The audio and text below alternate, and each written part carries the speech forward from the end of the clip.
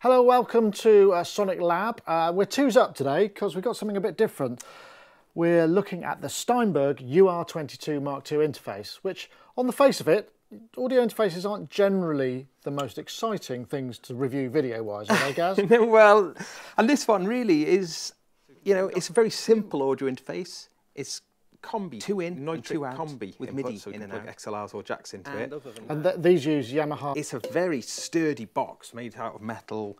It's probably got the best build quality in its class. Um, Almost a percussion instrument. oh yeah, I like that. Let's have a look at the front panel then. Okay, the, the Pro connectivity there. That's over USB, we should probably say. USB 2. USB 2, yeah. So yeah, so we've got our two gain controls. Uh, input 2 has a toggleable high impedance switch, so we can make uh, that essentially a DI plug for putting guitars into. Uh, output control, phones, and this mix balance control. I mean, we've seen these things before, but I think it's worth singling out because, you know, you move it over to the left and more me, move it over to the right. More return. More return. And I mean, it really makes it just so simple to kind of get a headphone mix. Um, I should mention though, if you're monitoring a stereo input, you will hear it in mono, or if you're listening to mono, you'll only ever hear what right. you're monitoring. A, Unless you happen mono. to be going through your yeah. DAW. Yeah, absolutely. But yeah. obviously latency will start coming into the signal, right? Of course. So this is a, a, a no latency option. Right, okay.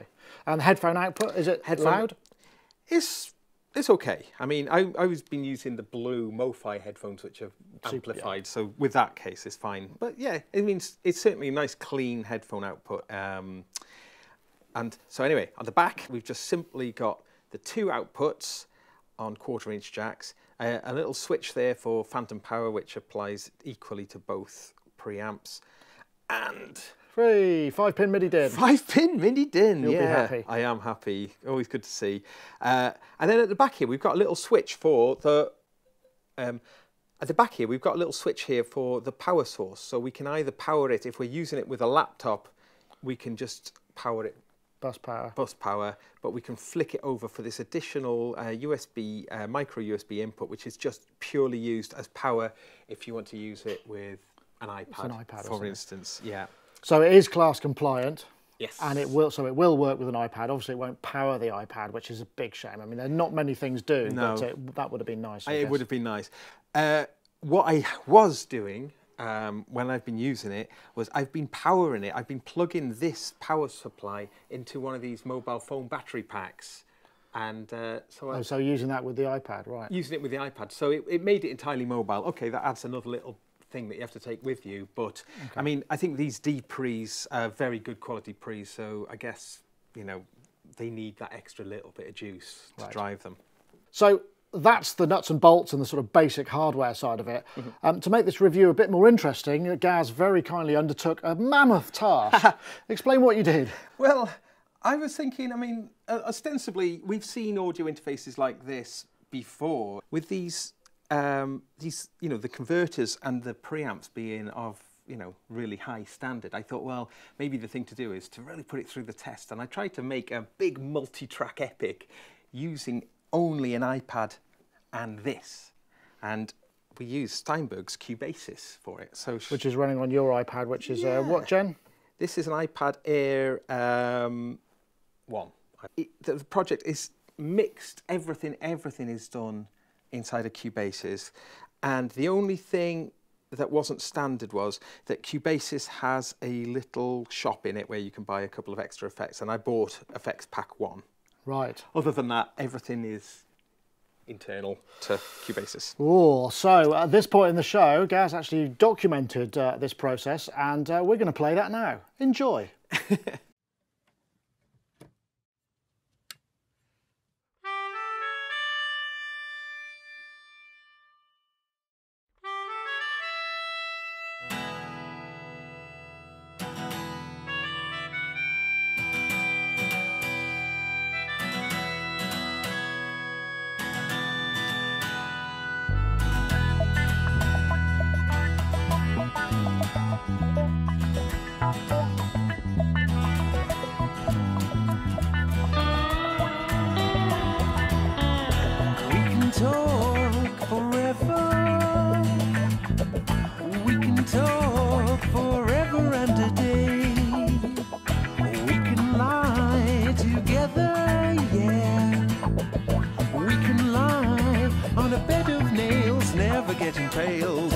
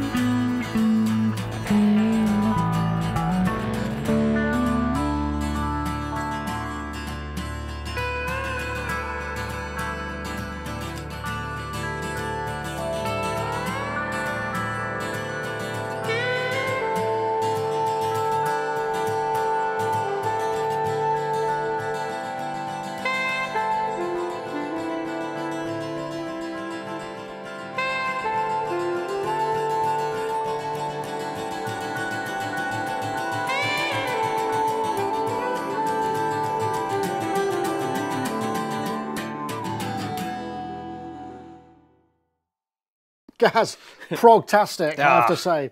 So you wrote and composed that and recorded the whole thing into Cubasis, right? Yeah, yeah, and I mean, really, what I wanted to do was I wanted to just to really kind of throw such a lot at it. So, you know, especially once the tracks are starting to, the, the track count is going up. You know, the kind of that's where the quality, the separation and the definition, yeah. exactly. So, and I, and I think that it came out really well in that respect. You know, I think that the those D-PREs are really cool. And I should mention, I actually recorded this at 16-bit 44k as well. So, it Right, was- but it will do 192, yeah, 24 yeah, of course it will. It will. So Um, how many tracks was that? well, the project in total, if I whiz through it, I've got, well, 42, 43 tracks, but I think probably about 24 tracks Playing, playing at the same time, at, right. at, at the, at the same time. And just to clarify, the mix and all the effects are running from here as well. yeah, yeah, everything, yeah, absolutely everything. So, So in operation, I mean, most of these hmm. things you recorded in place, did you? And that was the sort of idea. yeah. So, yeah, yeah. so I noticed the ba- when the bass kicks in, it really you really hear the weight of it. Was that just DI'd straight into? I was going through a VT bass pedal, that's a Tech 21 sort of Ampeg. So that's like a preamp, amp in analog, analog Can we have a listen to that? Yeah, sure. Um, so we've got a bit of compressor, a bit of compression on there as well, and there's a bit of automation of chorus when it does a little bass solo as well. Right. Okay. So, but it's got Body. body, yeah, um, And the other thing I noticed when the drums come in. yeah. Now, presumably you could only use a couple of mics on that. So what did you use? So I used a D112 bass drum mic, and I used a SE Electronics R1 ribbon. Oh, that's- um, oh, let's have a listen to that because they sound very right for the track. Yeah, but they're actually quite simple. I mean, this is the overhead, which we've just got the stock EQ and compressor on, bringing in the kick as well. So, you know, in a room. In in operation, Yeah. how how were you finding it? I was finding it really good because, as I say, I was running with the UR22. I had it going into a little battery pack, So the thing is, I could just pick it up on the iPad and just plonk it wherever I was. And just put the leads in. Yeah, so like, so for instance, when I was doing the vocals, you know, I could just, everything was just quite easy to do. I could just set little loops up around it. And, um, you know, quite often what I find is when I'm being the performer and the engineer at the same time. that's it- quite difficult. Yeah, and you know, the fact that this just boils that process down to just that one knob. you know, Yeah, it yeah, yeah, makes yeah. that Makes it a lot easier. sort of I guess one of the things is obviously that session probably took more than one iPad charge to accomplish, and I guess that's where there's a slight problem in terms of you know because once you run out of charge, you have to charge it up again because you can't power the iPad and the and the UR22 at the same time, right? Yeah, I mean, you know, this was a bit of an epic track. I ended up spending hours on it, so I did actually hit that issue. But I mean, you know, the iPad will last for 10 hours or something on a charge. You just have to plan ahead a little bit and not do two 20 hour sessions like I did on this. So when you were mixing down, presumably you were coming out of the iPad. Were you using monitors or were you working on headphones to do the mix? Um, I, yeah, I actually, I just ran it out into my monitors. And, Right, so uh, you got the benefit of your, Yeah. and, and that's when you can really hear whether or not this passed the test. I mean, so how was the sound of the uh, UR22 just coming directly out of the monitors? Uh, It sounded great. I mean, it sounded pro level. You know, it sounded really good. I was very pleased. Um, everything sounded defined, and as you mentioned with the bass, there's a, there is that sense of kind of weightiness to it, which I think you know because everything went through those preamps. So really, the, this whole project, for instance, you know, is you know. It is, it It's a test of that. Test of the And- pre's. and coming back to the ribbons, was it? How was the gain? Because obviously ribbons need a lot of gain. Well, I mean, I was recording like drums uh, and a few things I was doing. Yeah, you do have to run it quite hot. You know, yeah, I mean, I was up in the upper limit of it with the ribbons. On the overheads, less so, so Yeah, because the drums are so loud. But um, no, but they sounded pretty good. I think um, I thought it sounded really good with my Rode NTK. It's a valve mic, uh, which exhibits a bit of a uh, slightly sort of rough edge on things. I think Right. must be the to do with the valve in there, but. The combination of these pre's, it sounded really What smooth. did you use the uh, Uh, on? I used that for the lead vocal. You're so good to me. You killer company. hear the valve, can't you? I'm so happy when you call. So I've got the the compressor again on here. I've actually got the little stereo width um, plug-in, which comes as part of that FX pack. Right. On the lead vocal on the chorus, it just seems just to give it a little bit more more presence. It's got it's competing against lots of lots of uh, other elements. So I'm guessing, I mean, obviously you set the challenge on the iPad. I mean, obviously worked fine on laptop and you could run at higher sample rates. Yeah. Would you be comfortable doing a similar kind of thing with the laptop and getting, I mean, obviously, obviously you'd have the benefit of the the more familiar edit situation and, and working on arrangements and, and mix is going to be easier than on the iPad directly, I guess. Yeah, yeah, of course. I mean, I would have absolutely no qualms in using this in any professional situation, really. You know, in, in that respect, that, that the quality you get out of it is plenty good enough for most applications I can think of, really. Obviously, the track, the input count is, is, is going to be the, the limiting factor. But in terms of the preamps and the converters, both going in and coming out, yeah, no problem at all. And just to reiterate for a final time, that the fact that I was running it off that battery does facilitate uh, for very, you know, very mobile. That's like a portable battery. For, portable battery just for charging your phone up. But it just ran that with a, with the Phantom Powers, no no problem. So that that was. Um, you know, I thought that was actually quite cool because if you notice in the video, I did actually, I popped to my friend's house who had his drum kit set up and, uh, and I popped to some mates who did some backing vocals. And and you just took the whole thing on there. yeah, yeah, no, and it was just that easy thing, just like laptop bag, I had my mics and some cables, and you know, it was just it was just easy. And I thought, oh yeah, I didn't even have to, you know, I'm not hunting around for plug sockets or anything. So, yeah, that was that was cool. Excellent. Well, so this has just been announced. Uh, I think it's around about, uh, how do we know what the price is? 129 pounds. 129 pounds. Yeah. Uh, other currencies will uh, show below. Mm. Um, overall, though, very pleased with it. I know Mm. we've come, we've worked quite hard to make this a bit more interesting than your average review. I, I must say the amount of work you've put into Well- that, and I would also like to say that Gaz actually made the video as well. So, Right.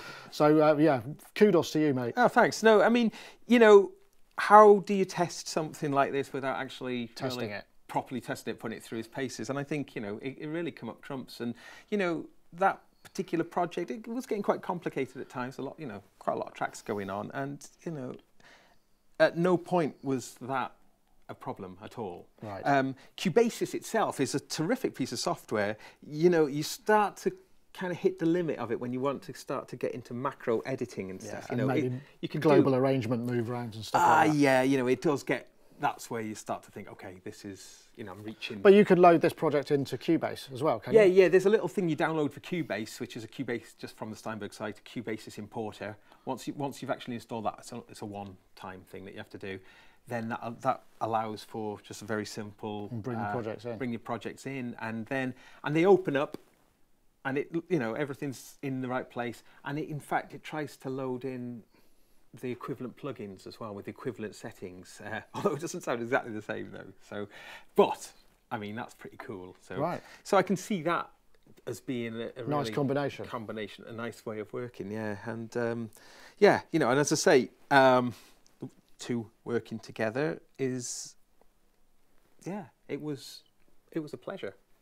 Excellent. Well, thank you very much for watching. Uh, that was Gaz Williams and his. Uh, what's the track called? It's called Killer Company. Killer Company. Uh, that's it for this time. Hope you enjoyed that, and uh, please do check out uh, more of our broadcasts coming shortly. See you next time. You're so good to me. You killer company. I'm so